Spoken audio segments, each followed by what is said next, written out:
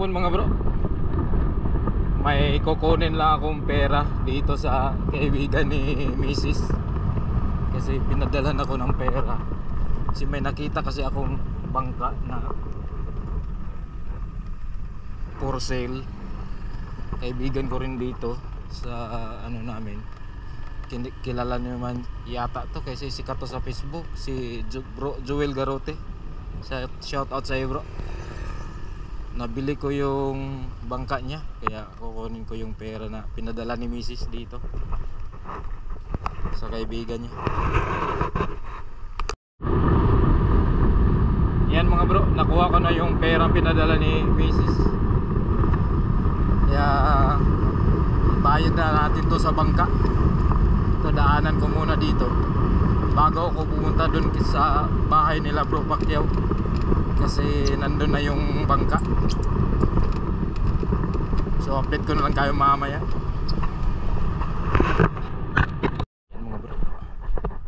Yan na ako sa bahay nila bro Joel para bayaran yung bangka yan Hello po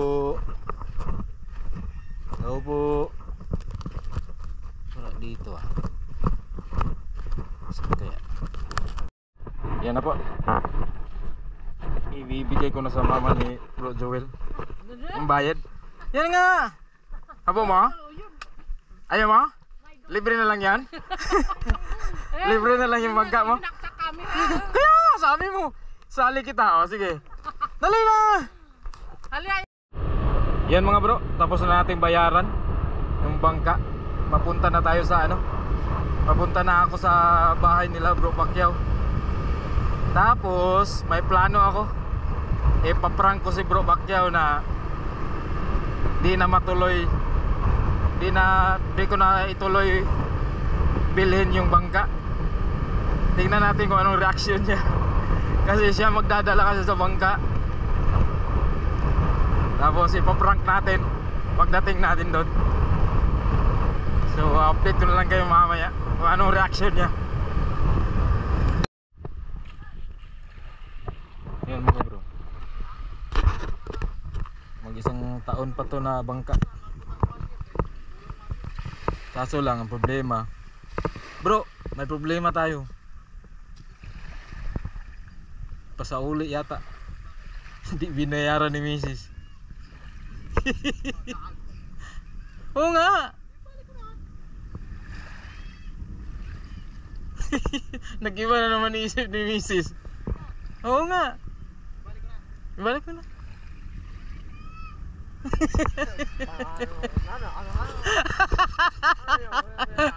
Oo nga.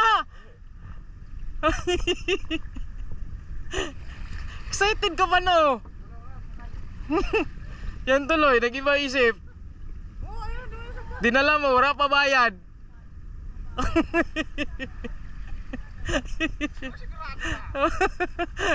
Excited ka kasi.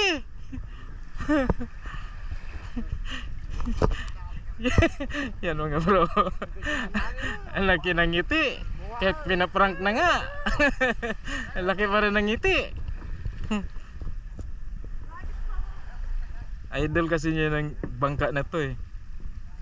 Idol niya si Mr. Suabe. oh. Pangalan ng bangka, Mr. Suabe. Mga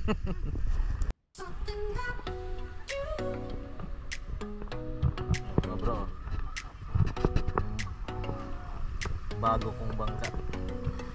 Sikanan lang to, nab- nabili to. Yan. 16.5 ang makina. Decodo. Sana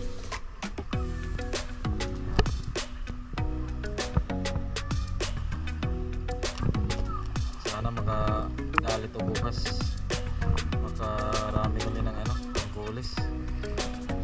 Itong gagamitin namin, Maple Pacquiao. So yan, dito na lang mga bro. Salamat sa panonood. Bye bye.